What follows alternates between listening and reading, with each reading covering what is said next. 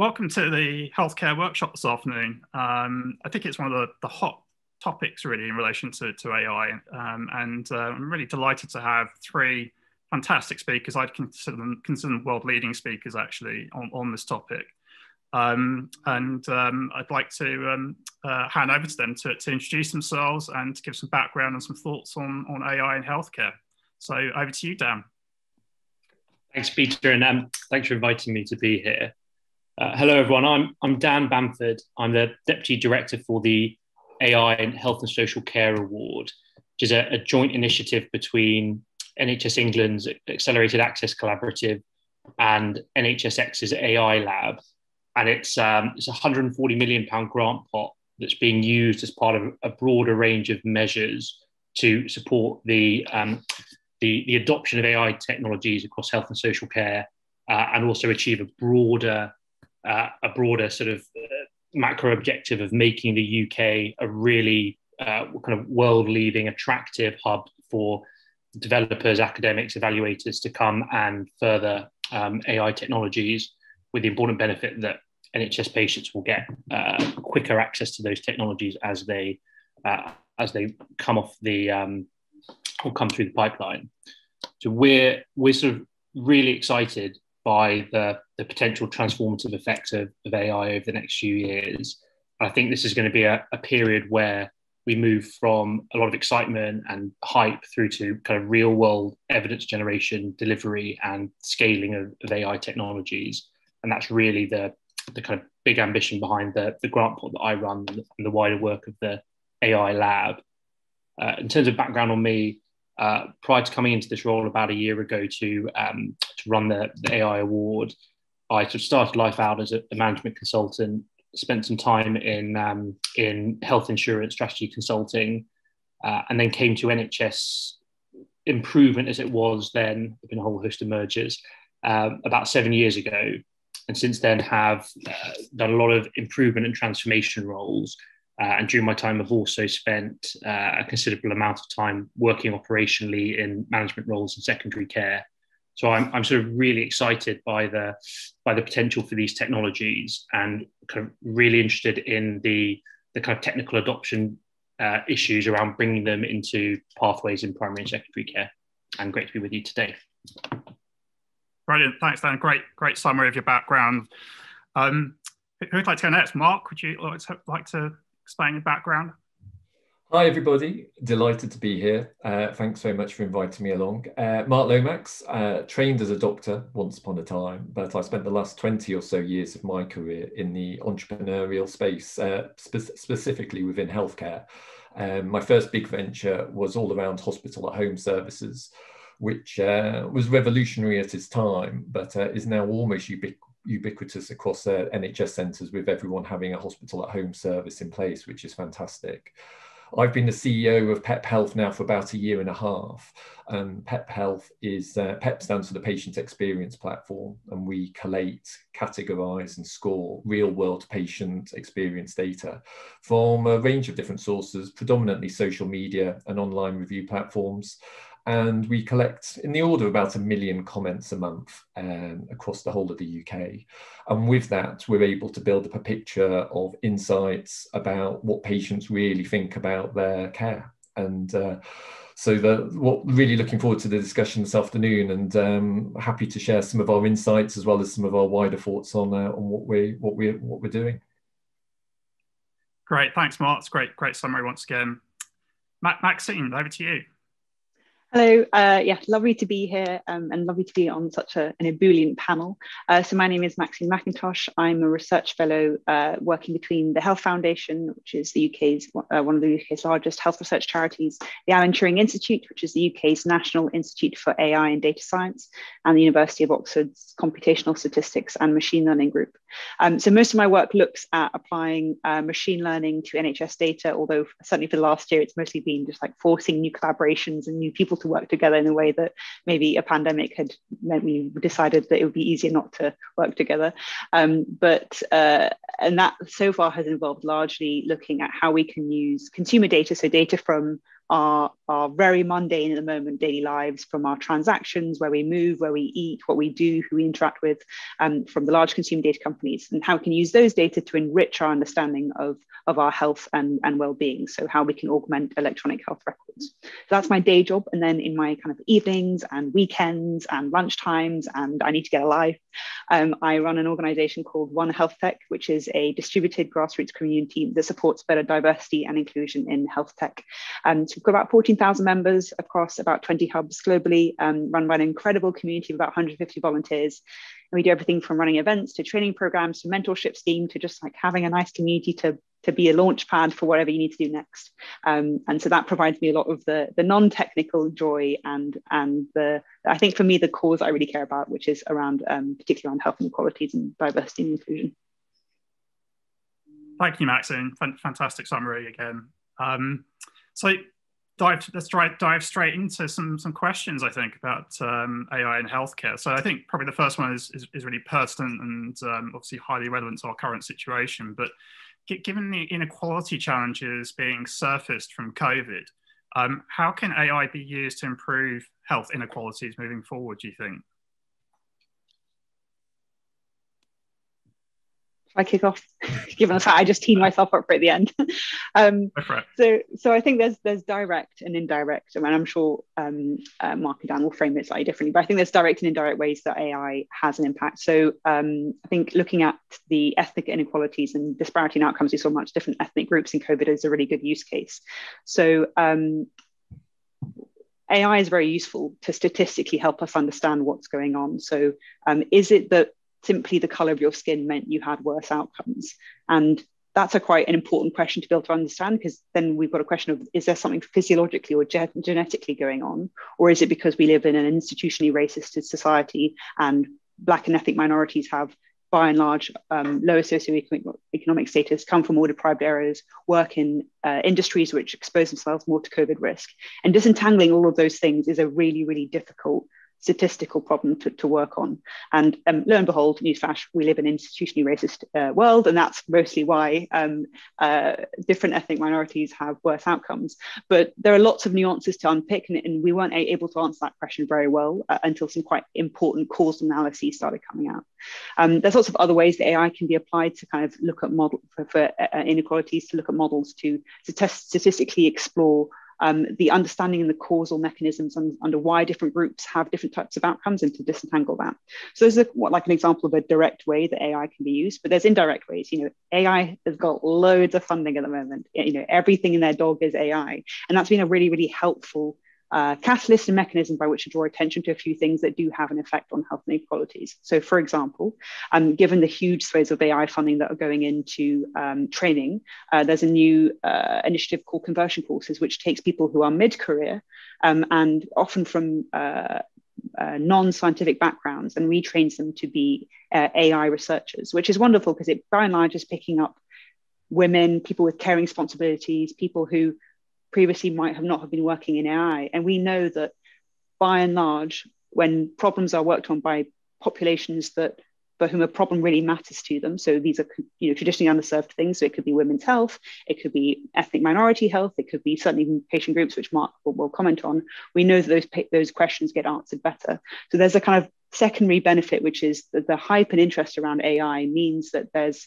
so much more attention being given to diversifying the questions being asked and the people answering those questions. Yeah, it's it's a great question, and there's so many different ways in which we could sort of uh, take it forward as well. Would agree everything that you've just said there, Maxine, completely.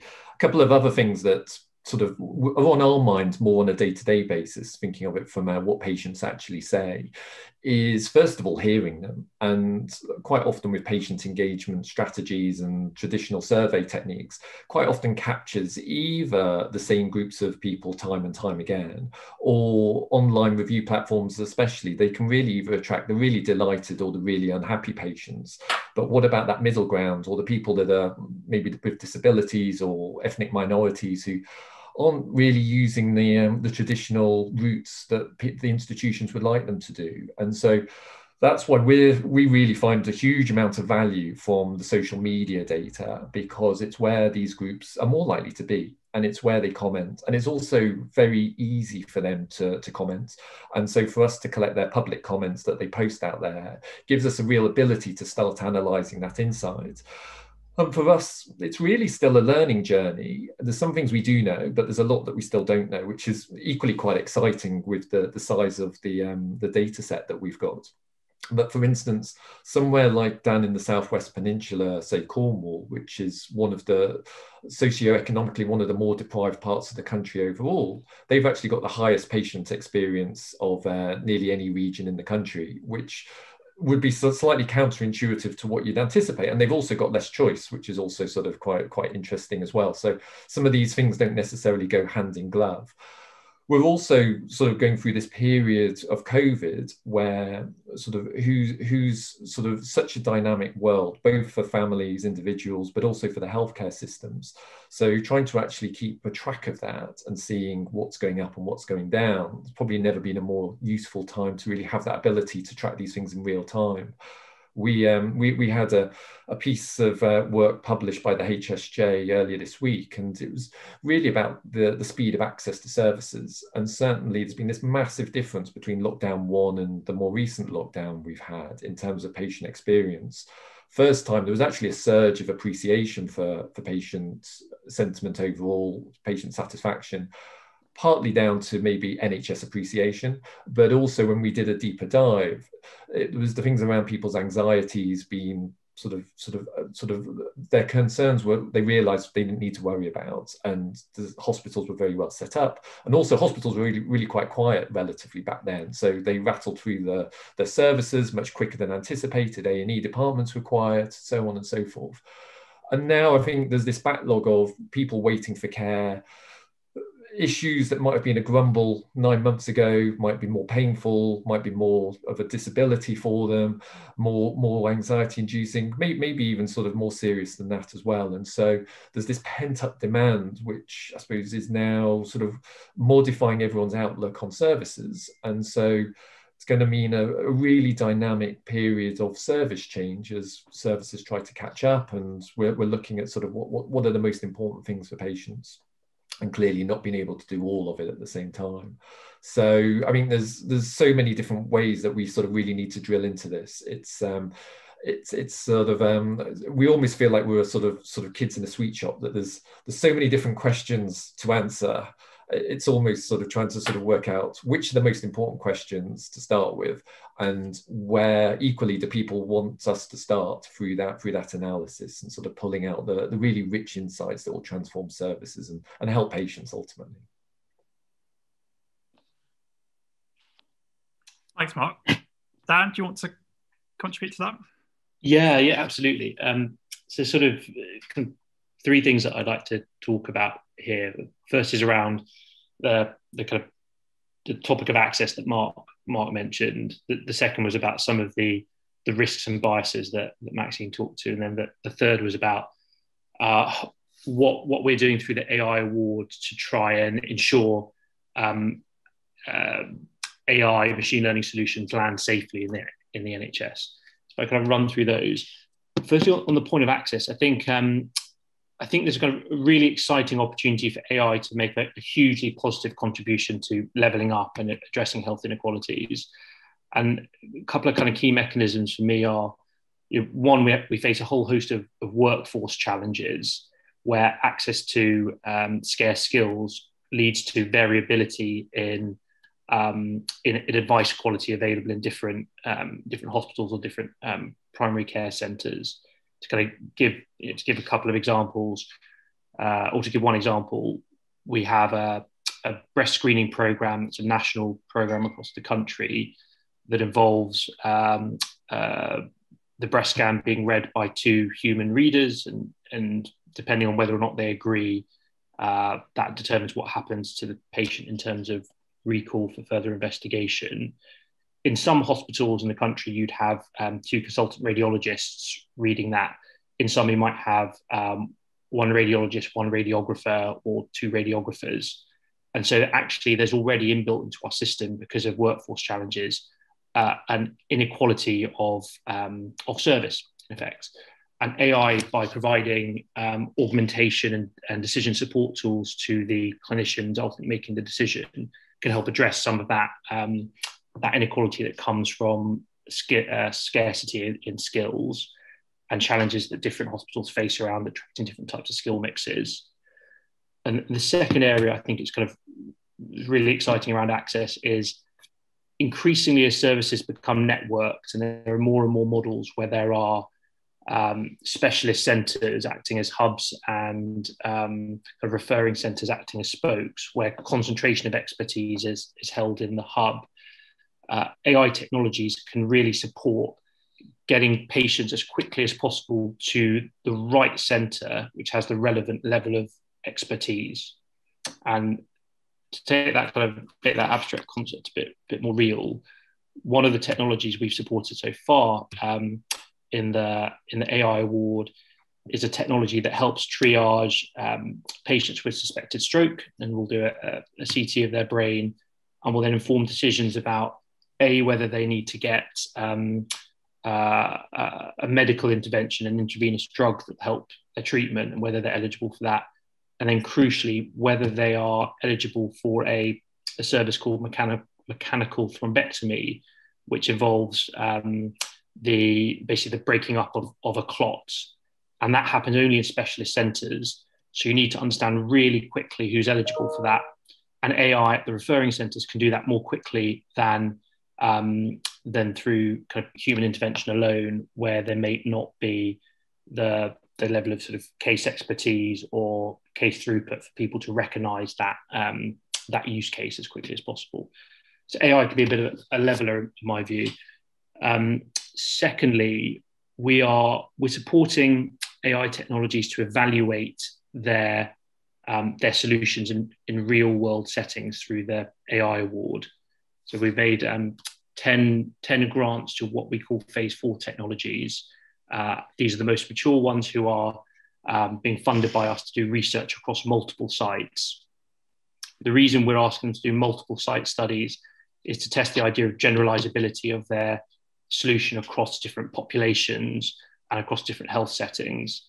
And the purpose of that is to make sure that the AI we roll out in the NHS um, raises all boats and doesn't just go to um, centres that serve a particular demographic or um, or centres that are already kind of experts in um, in digital tech and leads to a bit of a widening of the gap between the haves and the have-nots.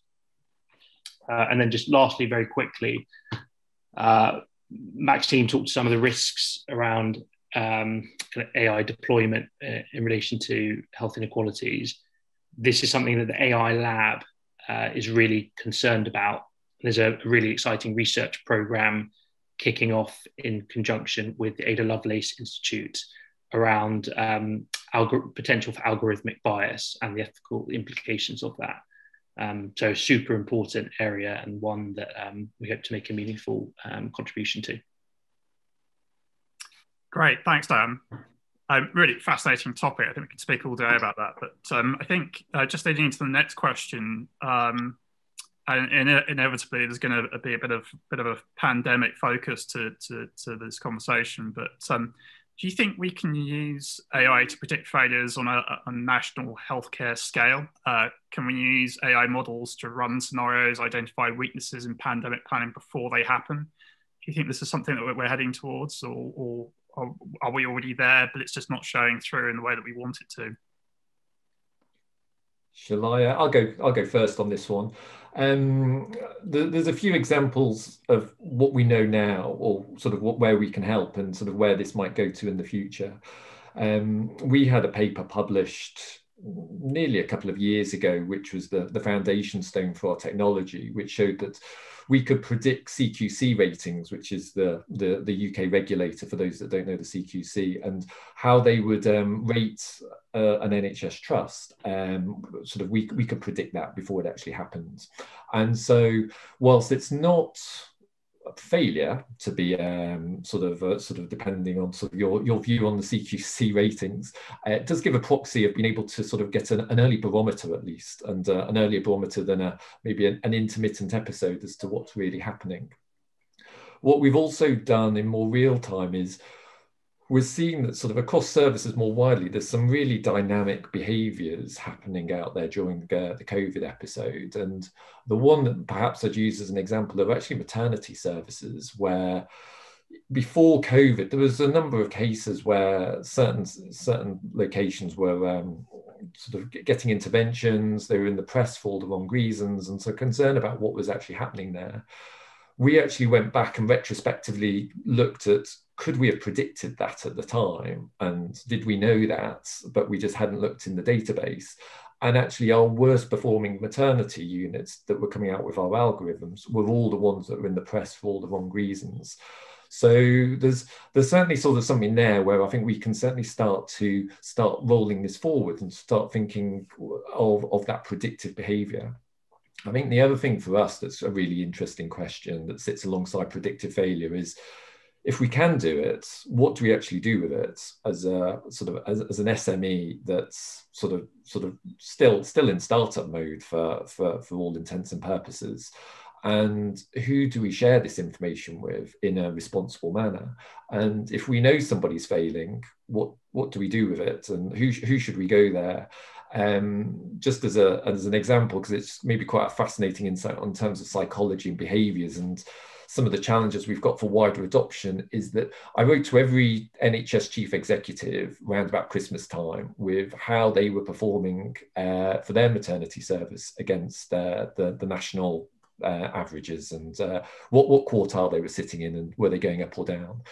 And got a really good response from a lot of them but also the ones that reached out and said we want to find out more. Tell us how this all works. What can we learn from it? were all the higher performing maternity units. And they were the ones that wanted to get better and improve. And so there's this slight mismatch in terms of those that are really embracing these kind of insights are the ones that are flying anyway. And if we're not careful the gap between the struggling and the, the best is, is going to grow. And that that variation in care is going to grow and widen when we look at these different different areas and so I think AI definitely has a role to play, but it's when it sort of comes into the real world and really practical, messy challenges that probably those chief executives that have got those problems have got a million and one other problems on their to do list that is noise in their head, time that's been taken up in their daytime, and that's that's the real challenge that um, is um, I think AI has got a fabulous role to play, but it's um, it's how that can sort of just get over that real world problem that uh, is nobody's fault, but I can just sort of sense the the tangible pain that's probably on the other side of uh, of the desk for them. Thanks, Mark. Does anybody else anything else contribute there? One, I um,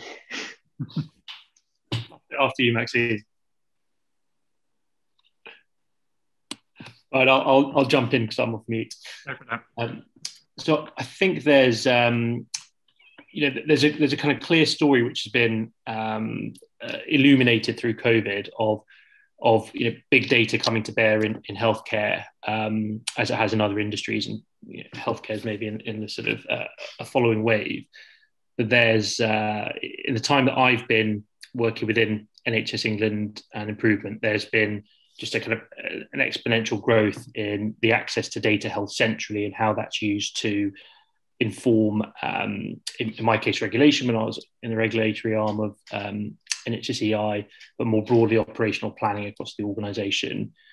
I think through through COVID, we've actually taken a significant step forward in how we use the data that we are um, collecting and using it much more intelligently.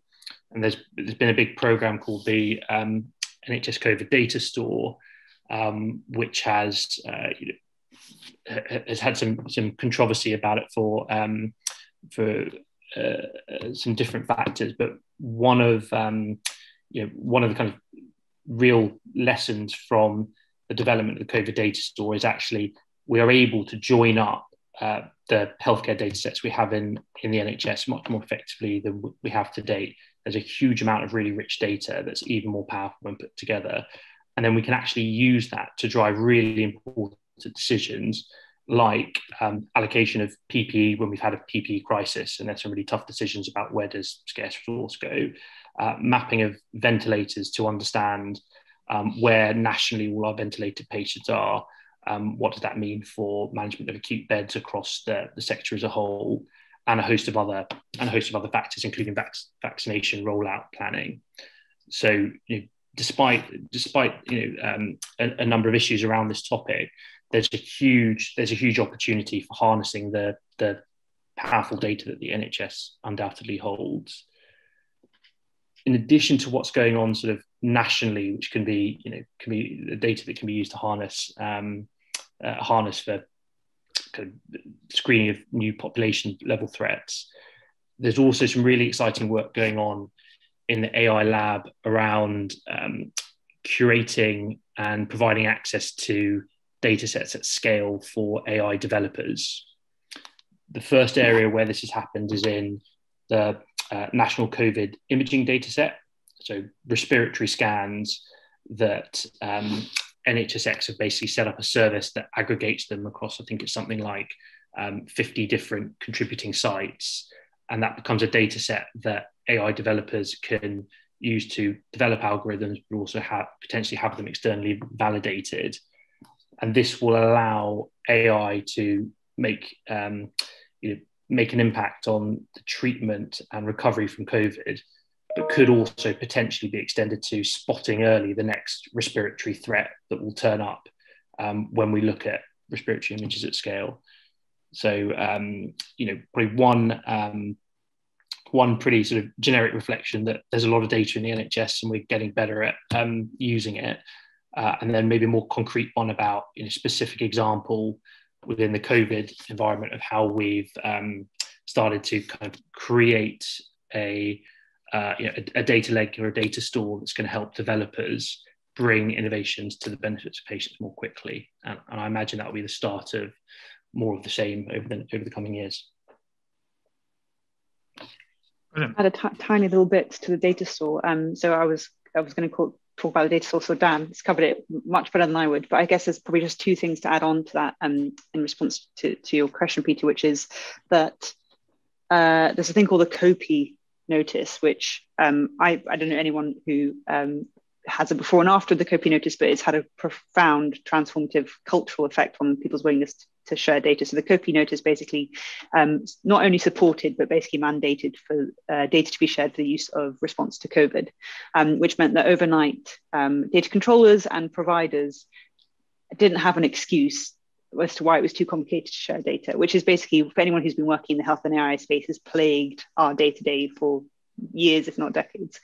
Um, and that has just been transformative because people now really understand why data should be shared, why, data, why combining data is really, really valuable. And be that a local or a sort of national data store level, um, I think that for me is a really important takeaway from what uh, what what COVID has encouraged the whole ecosystem to do. And the second thing is that you know lots of the examples that Dan gave are like really boring hospital and health system administrative type questions are really really important. But the, the risk threshold for both access to, to that those data and what happens if you get it like slightly wrong is nowhere near as risky as the effect of giving an incorrect diagnosis to an individual in an emergency setting.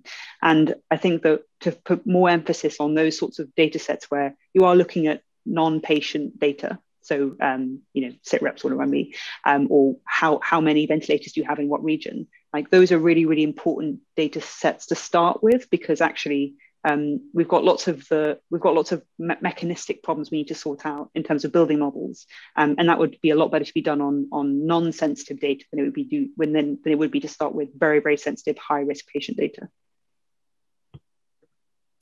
Brilliant, thanks, thanks, Maxine. Um, really, again, a really interesting conversation, which I think we could go on for, for, for some time. But um, I think just moving on, um, I think a really interesting topic, which I think um, relates to a lot of, the, of healthcare professionals right now and also students that are coming through the system and qualifying is uh, what the impact of AI diagnostics will be um, now in the future on, um, on uh, healthcare professional workflows.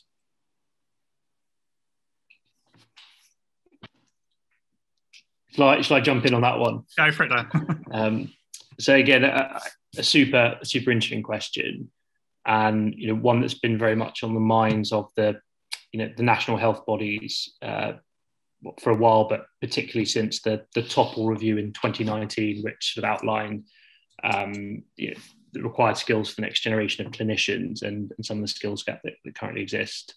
Um, really exciting to hear Maxine talk about that, the the um, the, the, transition process um, that she described into um, into data science. Maybe we need something analogous for for healthcare. What um, what what I see kind of as a starting point is we see we see AI as as transforming and enhancing clinical careers rather than you know, threatening jobs and replacing clinicians. Broadly, what we want to do is use AI to do the to do the tasks that don't require um, don't require a human and free up the humans to do the tasks that only they can do around caring. And when you look at how pressurized our workforce is, and you look at what the coming um, you know, the coming kind of workforce gaps are going to be across a range of specialties. I think anything we can do to take um, take out more of the um, the mechanical or even administrative tasks from a clinician's workflow is actually something to be really welcomed. Uh, that having said that, though, you, you need to demonstrate, innovators need to demonstrate to the clinicians who will be working with their technology. Actually, it's not just clinicians, clinicians and, and operational managers and other um, other healthcare professionals involved in the workflow. How the technology will impact uh, the pathway into which it's being um, adopted.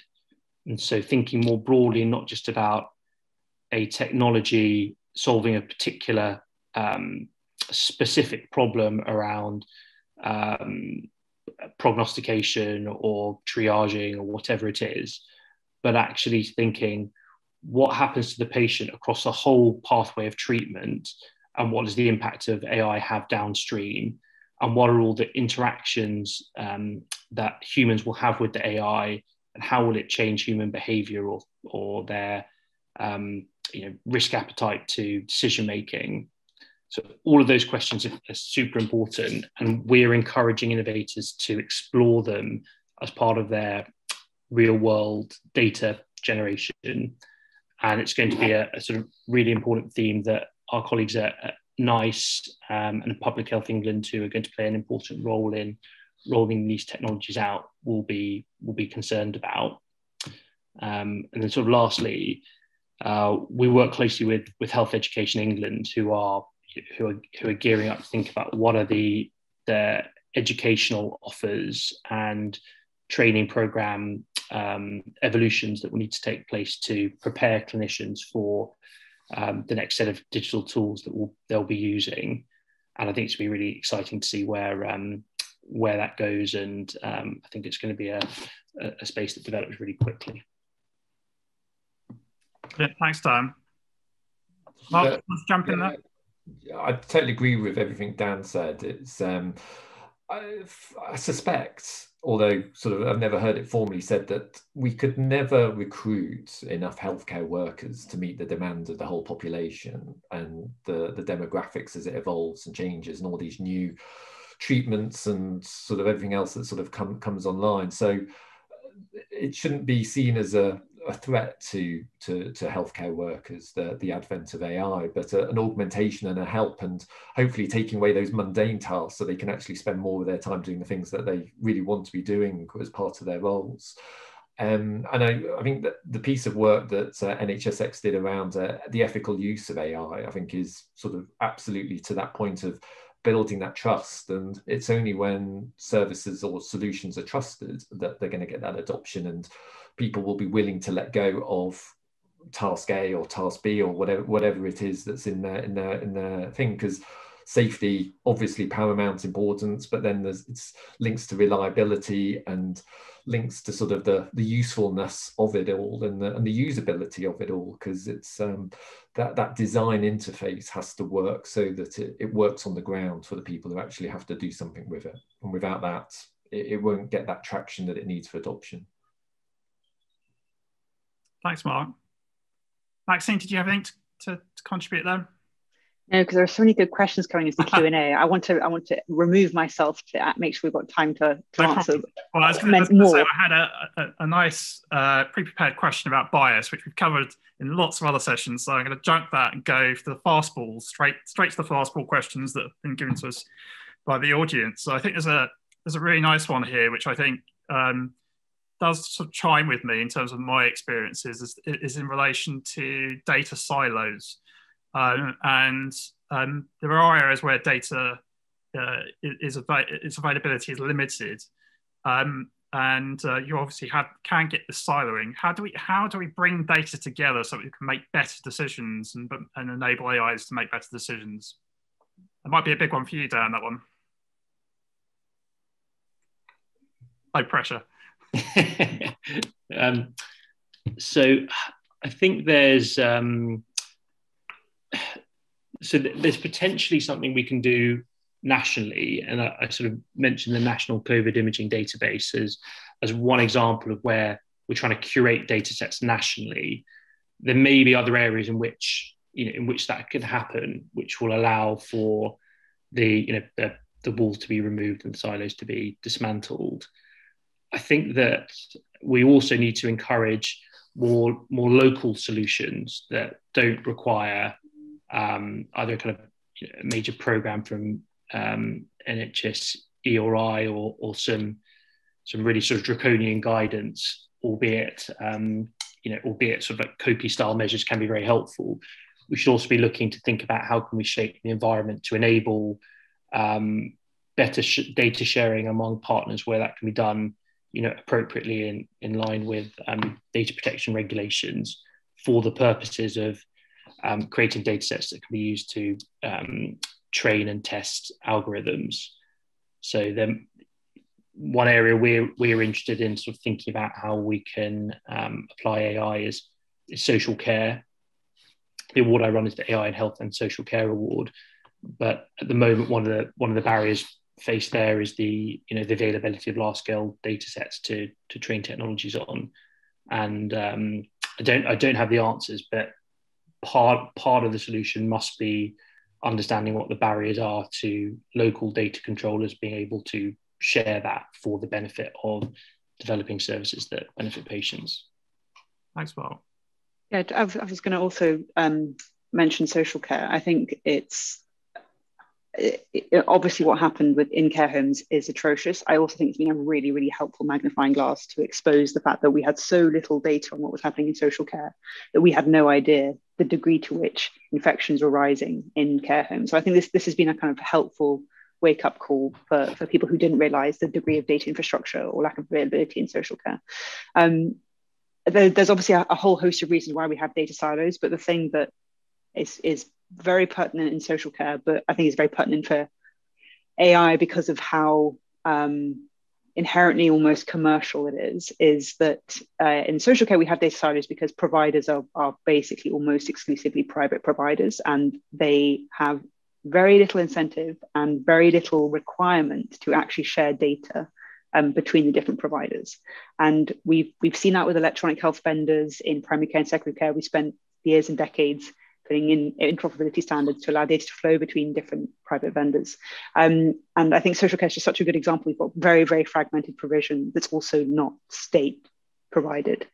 Um, and the moment you have that, it just adds this extra layer of complexity to accessing data and to bring it together. So um, I think that the privatization of where data is held is a massive problem. And I think that as really innovative companies, that collect really, really valuable data about patients and about the system, know, there's a really difficult thing to, to balance up there about how do you ensure that you are a viable small or big company that can you know build your models and provide a great service but also work appropriately with and in combination with the health system obviously mark can talk about this quite extensively and sounds like mark's doing a wonderful job of, of embedding and also making sure that he's alive as a, as a startup um, but i think there's so many examples of, of companies that do a really really inappropriate and unethical job. Um, and I think AI has really just exposed that. And so I really am worried about the current data silos, but also the, all the new ones are emerging as a result of this right, very thriving AI ecosystem. But I can see that on the horizon being a bit of a problem. The um, just one other thought I had that just sort of a slightly different uh, angle to it is it's not really mentioned so much now, but there was a real trend for value-based healthcare some years ago, and I think the, the logic behind it still stands with sort of value-based healthcare being this combination of outcomes times experience divided by the cost of the care itself, and you can imagine each of those three as a different data silo. And actually, if we could actually, and it, it never, I don't think it ever went anywhere because it was just too difficult to do ultimately. But if we could crack that, bringing those three different data silos together, you get a really richness of color of how that would look. Uh, and I don't know what the answer is to Maxine's sort of challenge that she gave to the social care, but uh, I suspect there'd have to be something about the, commi- the commissioners of that service which is not so easy if it's private pay again, but if it was sort of uh, publicly funded social care to, to sort of be a way of driving uh, the data sets to sort of be able to give it. But uh, it'd be a nice one to sort of pull that together. It would be uh, transformative, I suspect, to the social care sector. Brilliant. Um, again, another really interesting topic. I'm just taking another question here. I think um, uh, someone's questioned whether um, smart personal healthcare devices such as watches can be used to predict illness. I mean, is, that, is this something that we're going to see a lot more of in the future? I mean, there's already a lot of technology around this, but but do you think that it's going to really pervade throughout the healthcare system where we're, actually sort of self-caring more and self-analyzing ourselves using these devices and understanding the triggers and, and information from these devices that's coming through? Yeah, I think um, I'll come in on that. Absolutely. There's, uh, I take, I, I think of, of health data in four categories. So there's there's data that we inherently think of as as health care data, which is things like genetics and electronic health records and things that we kind of like know is very very medical. And I would say that there's then um, health kind of consumer health data, which I think is what the question was referring to. So the fact that I'm wearing a Fitbit and that the person asking questions noticed some changes in their readings before they got the flu, um, and you know that those will inherently become more accessible and more widespread as the cost gets driven down and the accuracy of those readings improve. So at the moment, it's it's interesting, but more more gimmicky than of clinical interest at the moment for the for the large for, for I think for the broader population, I think some people will have absolutely had really, really valuable and important experiences with say wearable devices. Then the other kind of two categories are big demographic information like census type data, which is around people's largely social determinants of health. And then the, the, other category is the thing that I'm specifically working on, which is health relevant data. So um, that closing that loop of all the things that we know that makes us healthy, which is you know who we work with, who we love, where we eat, what we buy, all those things that um, our behaviors as well that we, we know is what explains uh, whether we're going to be healthy or sick. Um, at the moment, those data sets are all at very different degrees of maturity and we haven't worked out how those data sets fit together to kind of really explain why we have certain health outcomes or why certain health outcomes vary. Um, but they're all inching towards providing a little, little bit more information into creating that holistic idea of the fact that our health is made up of our healthcare, our genetics, our behaviors, and our social determinants of health. Um, so yes, but as a as a pinpoint solution at the moment, it's going to be a bit of a an aha for people who maybe have certain cardiovascular conditions or who are insomniac or who just like measuring their steps. Um, but I think beyond that, they are going to be of limited clinical use in the immediate term, is my opinion. Thanks, Maxine. Dan, Mark, did, you guys want to jump in on that? Yeah, sure. I, I think um, uh, I think Maxine's described that described that really well, and um, yeah, the, the, the uses could be kind of relatively limited and more consumer facing.